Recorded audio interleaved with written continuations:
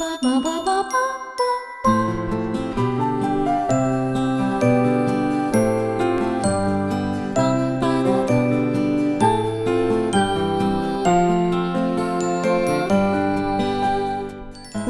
in Shangri-La, the Ganden Sumtseling Monastery, also known as Little Potala Palace, is the biggest Tibetan Buddhist monastery in Yunnan province.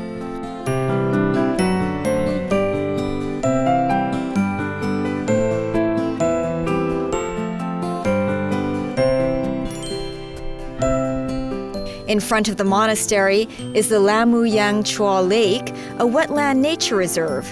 The entire monastery can be viewed from the other side of the lake. Modeled after the Potala Palace in Tibet, the monastery was built along the mountain slope.